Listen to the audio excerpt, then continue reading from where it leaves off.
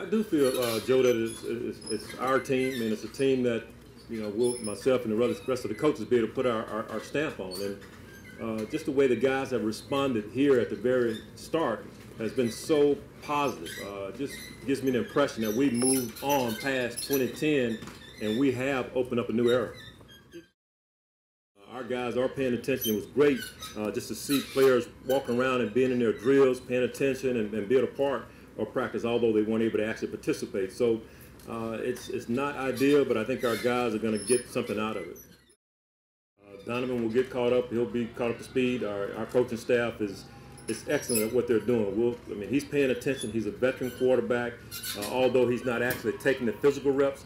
As long as he's out there being around the game, he's sitting in the meetings, uh, he's getting the mental reps he needs, and the rest will come.